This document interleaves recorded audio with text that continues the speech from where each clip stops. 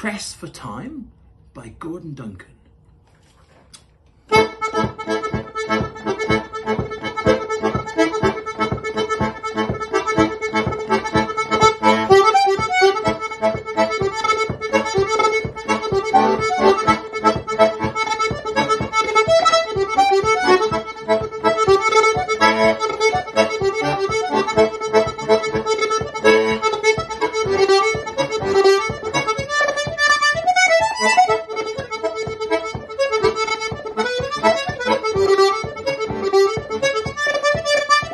Thank you.